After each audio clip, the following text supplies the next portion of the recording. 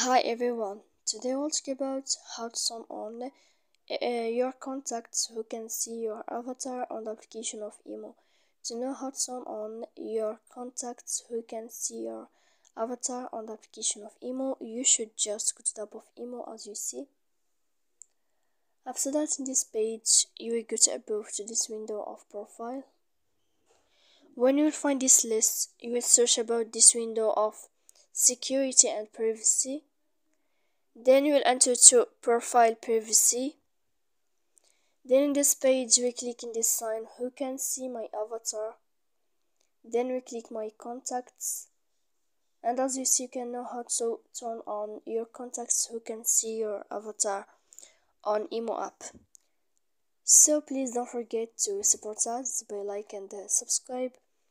See you next time in another video